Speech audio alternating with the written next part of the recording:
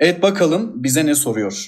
Buna göre bu bölüm konuşmalık türlerden hangisine aittir diyor soru arkadaşlar. Kara ölüm geldiğinde geçit versin, e, sağlığı ile savunçun devletin hak arttırsın. Ol ögdügüm yüce tanrı dost olubanı medem irsün, yön vireyim hanım. Evet bakınız.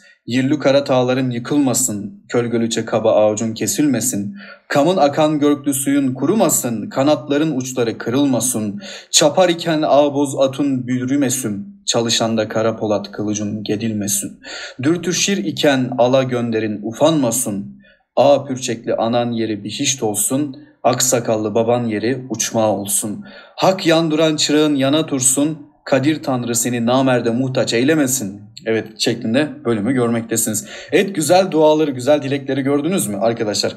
Güzel dualara ne diyoruz? Halk edebiyatının konuşmalık türlerden alkış diyoruz arkadaşlar. Alkış, dua anlamında diyoruz. Peki kırmızı kalemi seçelim. Bunun tam tersi zıttı ne oluyor arkadaşlar?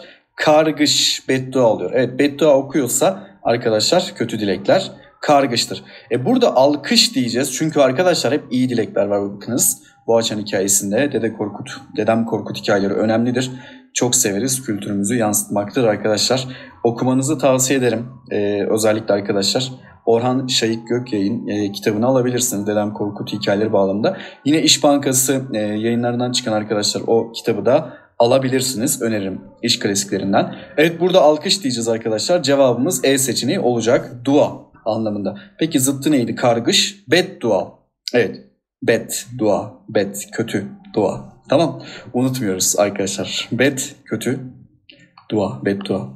Evet arkadaşlar, alkış olacak. Cevabımız, bakınız, Alkış dua. İnsanın kendisiyle yakınları tanıdıkları hısım ve akrabalarıyla sevdikleri başta olmak üzere içinde yaşadığı toplumun bütün bireylerinin maddi refah ve manevi saadetinde yardım ve merhametini istemek için Tanrı'ya yaptığı bir hitap ve bir sesleniştir.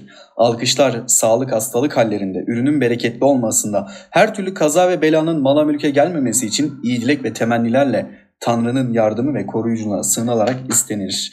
Alkışlar tıpkı atasözleri gibi hüküm bildiren olumlu istek ifadeleridir. Evet özellikle dikkat ediyoruz arkadaşlar. Bakınız alkışın temel hükmü dilek olması nedeniyle cümle isteği belirtecek bir kelimeyle tanımlanır, tamamlanır. İstek içeriyor değil mi? Arzu. Alkışlar konuşmayı süsler, ifadeye canlılık verirler. Ayrıca toplumsal olarak söylenmesi kalıplaşmış alkışlar vasıtasıyla insanların birbiriyle olan içtenliği de artmaktadır değerli arkadaşlar. Evet Dede Korkut hikayelerinden Boğaçan'da da bunu görmekteyiz. Edebiyat öğretmenliğine soruldu. Alkış, karguş ifadeleri, alkış ve kargışa dikkat ediyoruz. Alkış, dua, kargış, beddua.